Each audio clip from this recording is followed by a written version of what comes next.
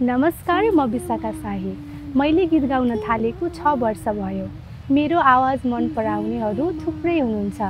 उहाँहरू सबैलाई धन्यवाद। तर पनि मलाई लाग्छ मलाई एउटा उपयुक्त मञ्चको खाँचो छ जहाँ म आफूलाई खुलेर अनि भुलेर प्रस्तुत गर्न सकु। त्यसैले म पनि यसपटक आउँदैछु नेपाल आइडल सिजन फाइभमा। अवश्य पनि एउटा यस्तो मञ्च जहाँ हुन्छ प्रस्तुति जमेर। त्यसैले गाउँछन् सबैले खुलेर अनि भुलेर। आउँदैछ नेपाल आइडल सिजन फाइभ।